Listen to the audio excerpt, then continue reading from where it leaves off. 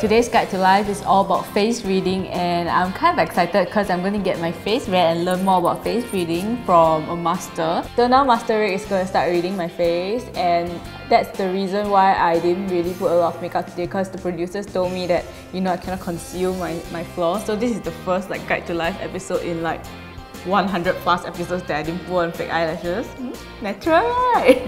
yeah, so I'm gonna see what he says. Face reading actually consists of uh, three parts. Mm. So this is supposed to be 27 years. So, yes. So actually you are four in this part of face reading. Okay. Here we are. How about this part?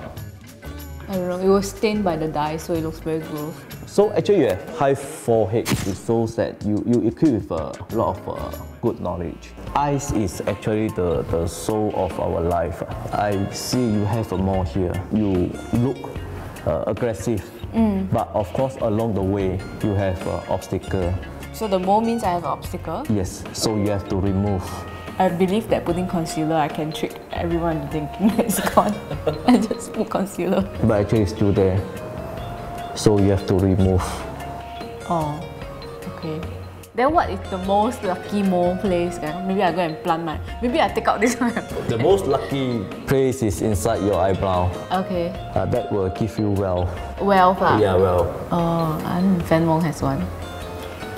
I think the reason why you say that like people who have it is lucky is because you get most from like pigmentation. Then your eyebrows are covering the space here. So how can you get most here? So it's very rare. So therefore people think it's lucky. I can be a face reader and you are gonna die. Will my husband cheat on me? No. I think Mike paid him beforehand. He's very faithful to you. Oh really? Yes. How can you tell from what? From your uh, Fu Qi Gong. Fu Qi Gong is this part. Here? Yes, okay. here. Because you don't have any uh, marking here ah? Yes. So people who get cheated on have a lot of marking here? Yes. So that means if I go and look at his and he's got a lot more means I'm going to cheat on as well. so you have to ask him to remove. Oh, okay, okay. yes. So you know that I did like some plastic surgery lah. So I want to show you like my before plastic surgery photos to ask you whether like you think my life improved from. Don't show your first from this state. Yes. Hideousness. Okay, so here is me before plastic surgery. okay. I don't like his scalp. Oh, yeah, this? is very ugly.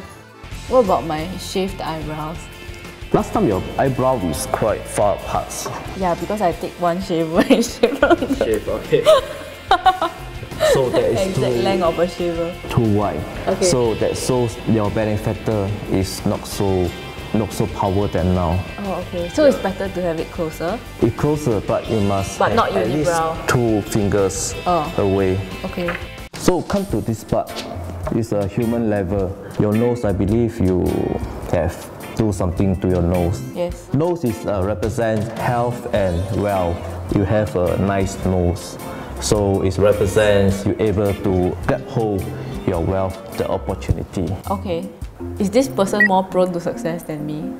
No, now it's better. But I got big nose, you know, that means I'll be very wealthy. But you have a big nose, but then the problem is you, you have a low nose, you don't have a high nose. Oh. Yeah. So must be big and high, yeah. Okay. Yeah. I really hope that they will never ever use this for my funeral. I'll be so upset. Please, I don't. Uh.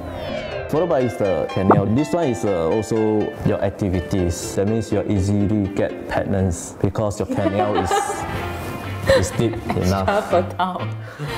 also, that is how you see uh, yes. whether somebody is fertile. Okay. Yes. So is it the same for guys? Guys is uh, more to the uh, like uh, sexual activities. So the deeper it is, the more horny they are. Yes. how many kids will I have? At least two. How do you tell the kids? From your canal. Oh. those got slutty canal. Can I see your ear? My grandmother always says small ears is Actually, it's Short small, life. small, no, no, no. The standard size of the ear is at your eyebrow and to the nose. You are a bit of uh, softer. This so that you must uh, put in extra uh, listening power. That means uh, listen to other people's advice.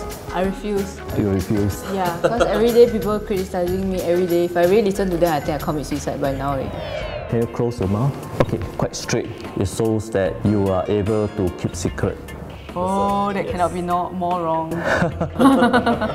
Is it true that you can just look at somebody's picture and also can read their face? By picture? Yeah. Okay, Can let me I? try. Okay, okay. this person. What do you think about her? Is she evil? Actually, it's your friend, oh. No, it's not. It's not your Yeah, friend. it's my mortal enemy. So you can say all kinds of shit about her. The more, the better. Okay. Obviously, the outstanding part is the mouth. Ah, and then so, So- what does it mean? She likes to.